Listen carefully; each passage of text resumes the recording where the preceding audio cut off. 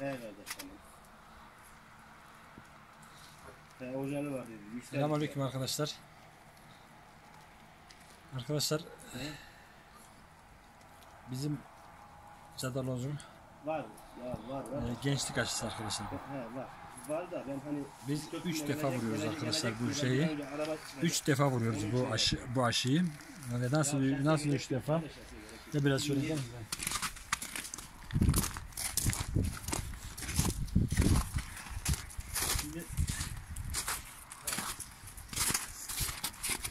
günlük olduktan sonra 40 ile 45 gün arası bir defa sonra e, 20'şer gün arayla kimisiler 15 gün kimisiler 21 gün arayla arkadaşlar biz e, e, 45 60 ve 75 ve 80 arası günlük olduklarında vuruyoruz. Ama 3 defa mutlaka vuruyoruz. Çünkü önceden 2 defa vuruyorduk arkadaşlar. Şimdi e, böyle bir sıkıntı başladı. Nasıl bir sıkıntı? E, aşılarımızda şey yok. E, kalite yok. Kalite olmadığı için e, biz de ne yapıyoruz? E, şeyimizi e, çift e, tekrar bir tane daha şey yaptık ekstra İlave yapıldı. ilave yaptık bu şekilde. 3 defa aşımızı yapıyoruz. Arkadaşlar bunu e, normalde e, şeyler az köpek besleyen arkadaşlarımız e, şeylere götürüyor. Ve, veteriner hekimlere götürüyorlar. Aşılarını yaptırıyorlar. Ama bizim gibi böyle e, fazla köpek besleyen arkadaşlar genelde kendi yapıyorlar. Bizde de baya bir tecrübe var değil mi? var var abi. Baya bir şeyimiz var arkadaşlar bunda. Bir tecrübemiz var. Zaten ufak tefek şeylerle arkadaşlar ben veterineri e, şeyleri ilaçlarda falan illa ki onların tavsiyesini alıyoruz. Ama genelde iğneleri biz yapıyoruz. İlaçları biz veriyoruz. Ama bu aslanı gücümüz yetip de iğneye vurabilirsek. Bir iki adam daha getirseydik tutmaya.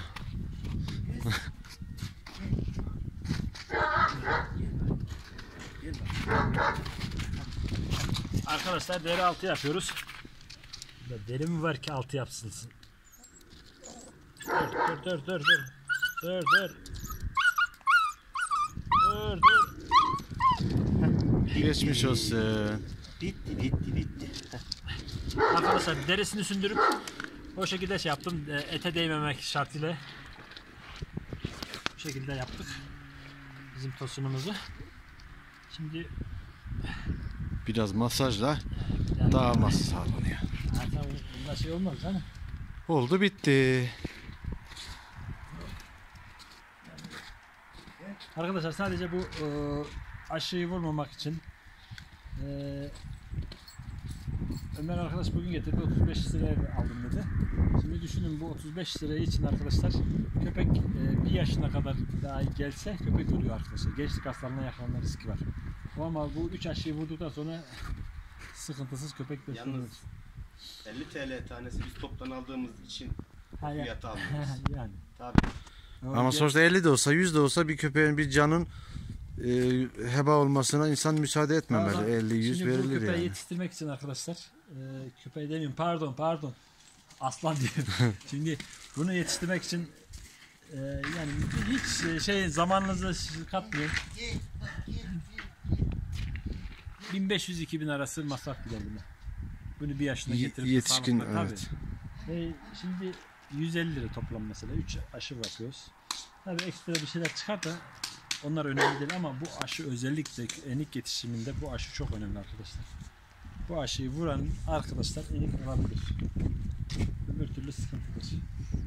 Bunu arkadaşlar bu antiparantez olarak belirtmek istedim. Aşığınızı mutlaka yavrularına ki yavrularınızı öldürmeyin.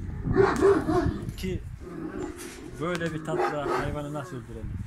Keyfi köpek alıp da sonra masraflarını, ilaçlarını ihmal edip öldürmesin kimse. Bakamayacağı köpeği almasın. Şimdi arkadaşlar şunun e, ne diyeyim, e, ayakları şu şekilde pitbull şeklinde. Şimdi böyle e, e, inne vurmamız lazım. Vuracağım inneyi de biliyorum. Susun lan! Beğenir.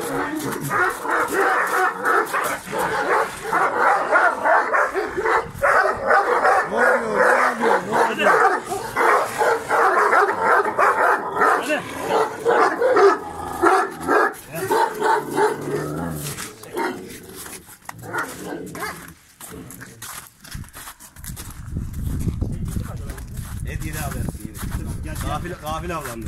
İçeri gidecek zamanı biliyor. Otomatikman şu şu şuradan şu ağaçların altından Saklanıyor. çıkıyor. Geç. Saklanıyor. Geç. Hayır. Geç geç geç geç geç geç geç. Geç geç geç geç.